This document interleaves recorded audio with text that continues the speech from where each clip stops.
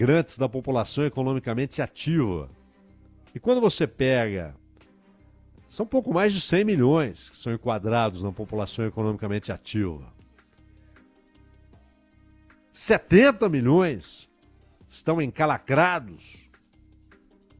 E as empresas? Cerca de 6 milhões de empresas. Esse é um outro problema, paralelo, mas com causas muito parecidas. Então,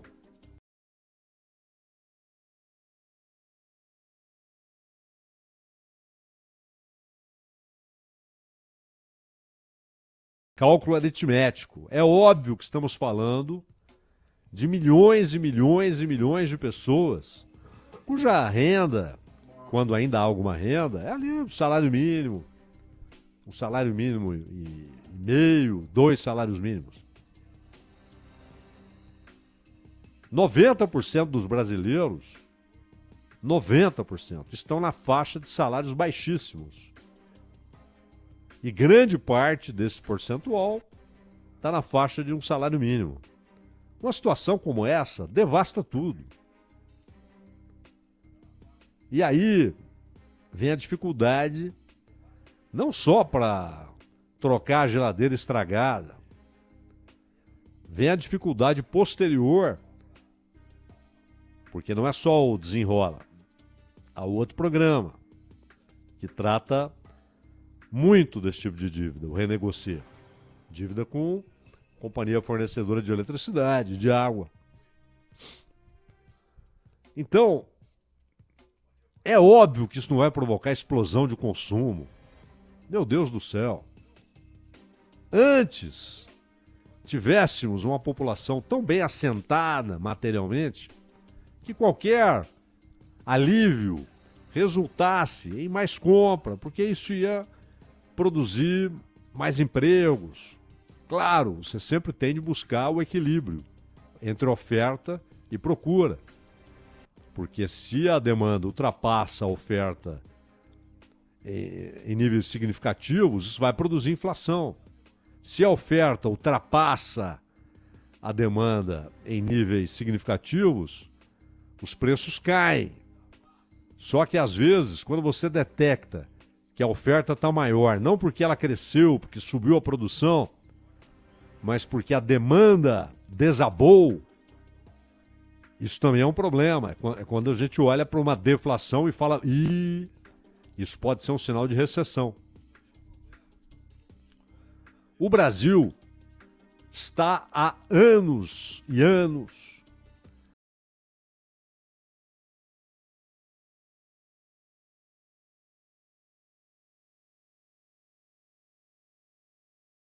que a economia brasileira pode permitir, o seu potencial. Mas aí, olha, a cartilha vai ter mais dinheiro, vai ter mais crédito. A recuperação do crédito está preocupando muita gente que está enxergando aí risco de inflação. Porque pode haver uma explosão de consumo. Primeiro que a base é muito baixa. O nosso consumo está muito, muito aquém do que pode ser. Segundo, que grande parte desses milhões de brasileiros tem a preocupação imediata de retirar o nome daquelas listas opressoras. Né? Em alguns casos, o sujeito se sente na lista da Gestapo. Ele é um caçado, mas ao mesmo tempo ele é o sujeito a ser evitado. Ao, ao buscar o um emprego, ao tentar ali um novo crédito, ele é o sujeito a ser evitado. O mesmo banco que estende um tapete vermelho para quem já tem dinheiro. O banco adora emprestar dinheiro para quem tem muito dinheiro e se cerca de cuidados quando chega ali alguém que precisa de dinheiro. Então ele é o sujeito a ser evitado, mas ao mesmo tempo ele é o caçado. Ele é o caçado porque ele é o, o negativado. E o credor não desiste, tenta e tal. Até que ambos chegam à conclusão que não tem mais jeito. E aí, geralmente acontece uma negociação, mas isso depois de tanto estrago, de tantas situações humilhantes, depois de parte da vida do sujeito e de sua família, parte da vida estar devastada. Aí tem lá um acordo. Aí é que ele vai reconstruir. E a ideia é essa. Nós dissemos aqui várias vezes, inclusive ontem, Ronald e eu conversávamos sobre isso, que não é a solução, não é a, a remoção da causa de um problema sistêmico. É claro que é sistêmico. Atingiu 70 milhões. Não é normal. Há um problema crônico, sistêmico, estrutural nos mecanismos de crédito, nos juros cobrados. Não há dúvida. E claro, há um problema anterior a esse, que é a nossa renda muito baixa, salários baixos. Não desapareceu a ideia. Eu preciso dar para esse sujeito comida e alojamento. Ele precisa ter algum nível de saúde para ele conseguir trabalhar e reproduzir novos trabalhadores. Gerar novos trabalhadores. Garantir o número de soldados da produção. Não desapareceu essa ideia que existia sob a, a canalice do escravagismo, do regime escravocrata, a utilização da mão de obra escrava para a produção. E não desapareceu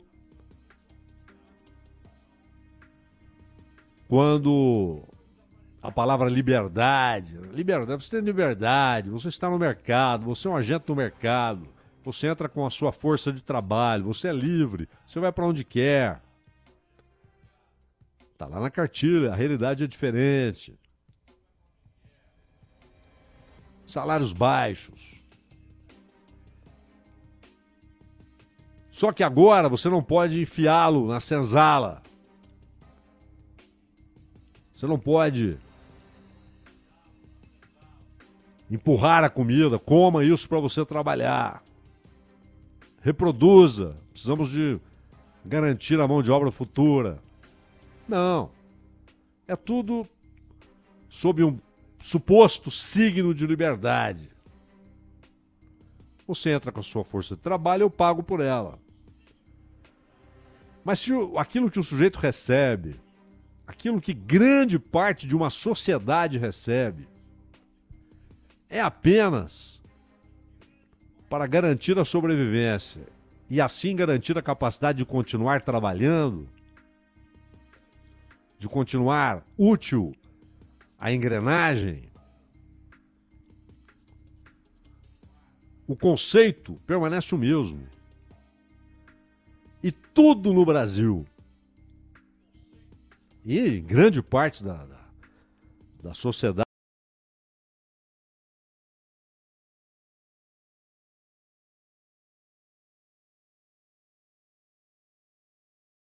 de um crescimento geral, prosperidade geral, as pessoas recebendo salários que correspondam à sua participação na geração de riqueza, porque esse é o ponto.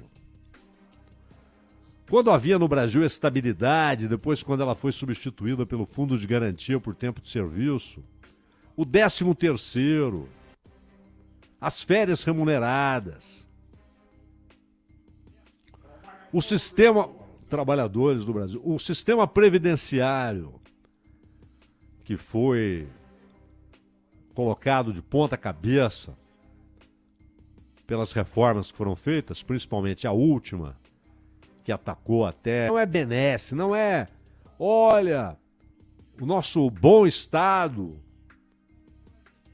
e os nossos bons patrões concordaram que você tem direito a mais um salário anual. Não, o salário é anual, o cálculo é anual.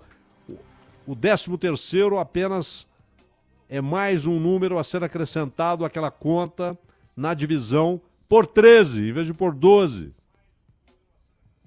É o salário anual. Pagamento é mensal, mas o cálculo é anual. Quanto custa por ano? Isso foi uma tímida maneira de se reconhecer que aquele sujeito produz riqueza. E, no entanto, ao fim, o que é dado a ele é o suficiente para que ele continue produzindo riqueza. Para que ele tenha saúde suficiente para produzir riqueza. E quando há uma multidão disponível por falta de emprego, já nem me interessa muito se ele tem saúde ou não, porque se ele não tiver, vem outro. Vem outro que vai aceitar aquele salário por desespero.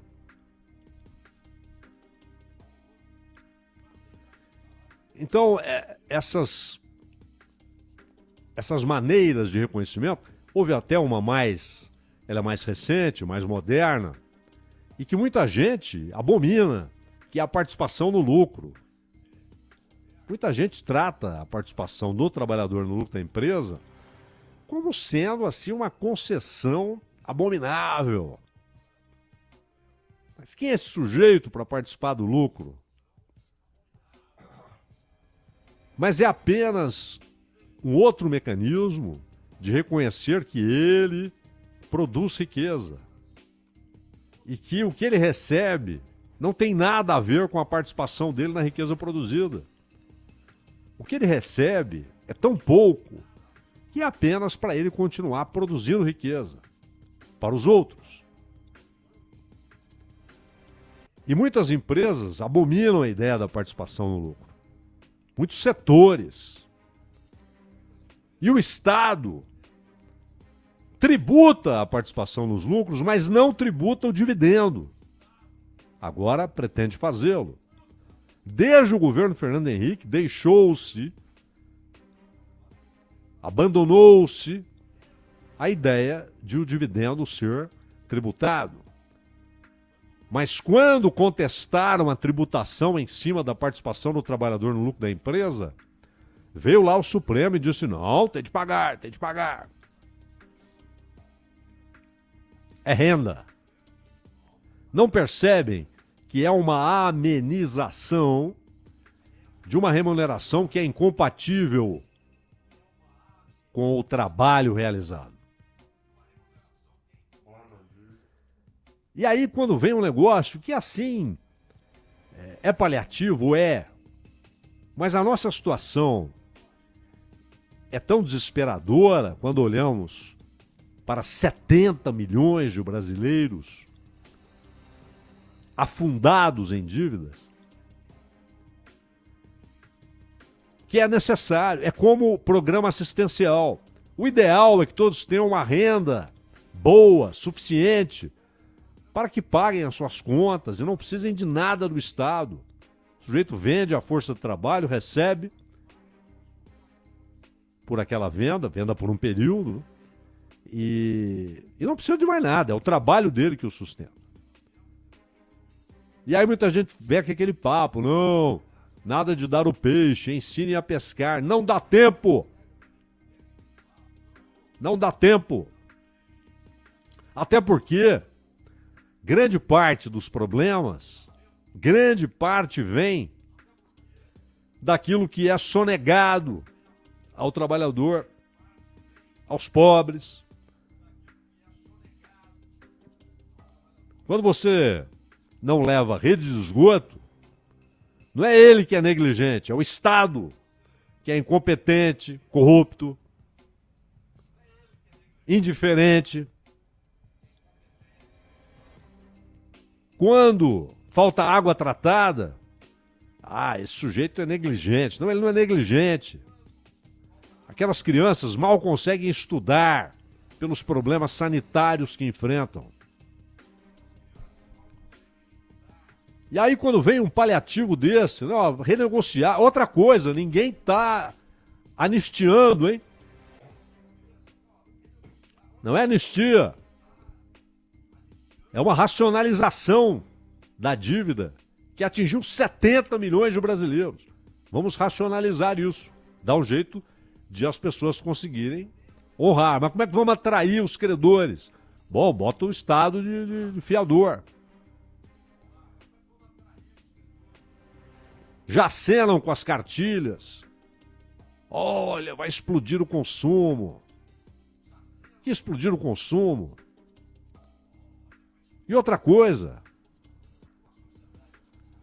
o impacto é sempre positivo. Os varejistas, a indústria, todo mundo está desesperadamente precisando de aumento de consumo. Ah, mas vai produzir inflação. Onde que enxergam isso? Onde? Os gastos da elite, da, da elite do, do poder público, da casta superior. Isso é inflacionário. E N coisas. Afinal de contas, vão conseguir manter a exportação de grãos desde a Ucrânia para o restante do mundo, a saída da Rússia do programa, ou a suspensão de sua participação vai ter que impacto. Os juros dos Estados Unidos subiram, vai ter que impacto. Se isso tiver, se isso produzir algum efeito inflacionário, olha, a China está comprando mais petróleo, opa, o preço do petróleo subiu, o diesel está mais caro. Se isso produzir algum impacto, vão dizer que foi porque houve renegociação de dívida.